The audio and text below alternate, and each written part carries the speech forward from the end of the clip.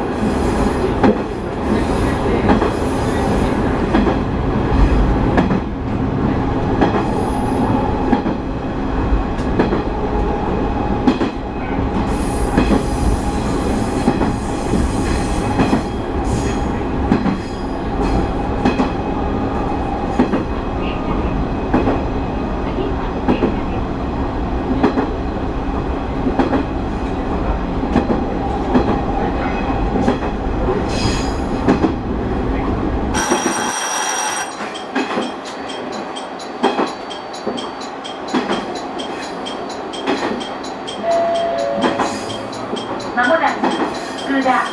福田に着きます降り口は前側です琴平高松方面へのお乗り換え駅です切符運賃整理券は運転士にお店の上運賃箱へお入れください。定期券の場合は運転士にお見せください。